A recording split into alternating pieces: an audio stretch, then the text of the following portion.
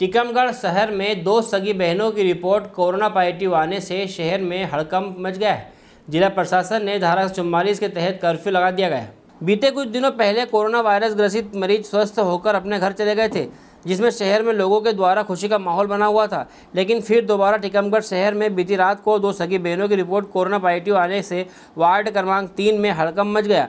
प्रशासन ने पपोरा चौराहा के पास एक एरिया सील कर दिया गया है। इसके साथ ही जिला वासियों का ग्रीन जोन का सपना भी टूट गया है। टीकमगढ़ से मनोज खरे की रिपोर्ट।